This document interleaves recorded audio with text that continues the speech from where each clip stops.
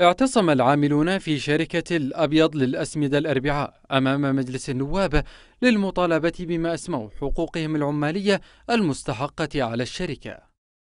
ويأتي الاعتصام لتأخر الشركة بدفع رواتبه المستحقة عليها منذ ثلاثة أشهر إضافة إلى إشراكهم في التأمين الصحي.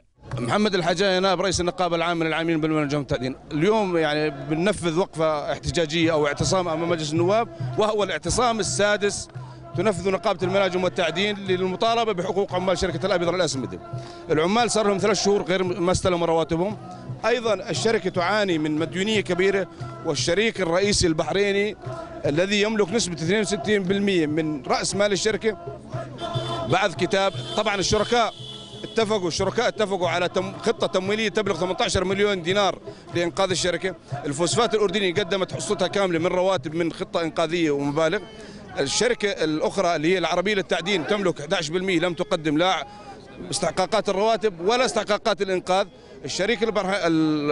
أخونا الشريك البحريني لم يلتزم بالاتفاق الذي تم لغايات تمويل الشركة للغايات الإنقاذية ولا دفع الرواتب. اشترط لتنفيذ هذه المطالب أربعة شروط. الشرط الأول تسريح كافة الموظفين الاردنيين ماده 31 اللي هي 380 موظف أردني.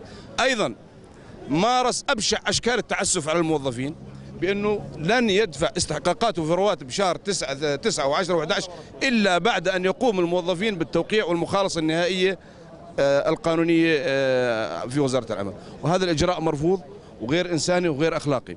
والعمال كل واحد فيهم مسؤول وعنده أسر وعنده عائلات. 380 موظف أردني. فبالتالي قضية إنسانية قبل أن تكون قضية عمالية أو قضية حقوقية. ويقدر عدد العاملين في الشركة الذين لم يتقاضوا رواتبهم 380 عاملا. محمد الفايز الحقيقة الدولية.